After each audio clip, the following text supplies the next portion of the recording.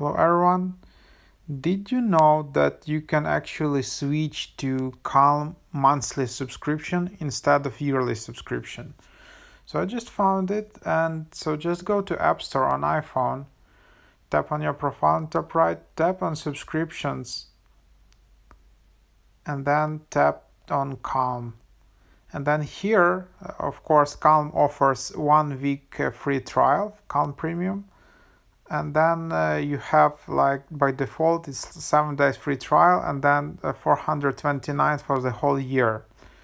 But if you don't want to pay that there is an option to change the subscription to Calm premium one month for like lower price uh, monthly price. But of course overall it will be for the year it will be much more expensive.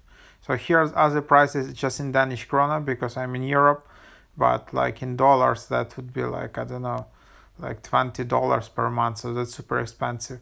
But if you just want to try like for example for two months instead of paying like $70 you can just pay like i don't know like less than $20 then maybe it makes sense for you. And then you can switch to is it cancel or something like that.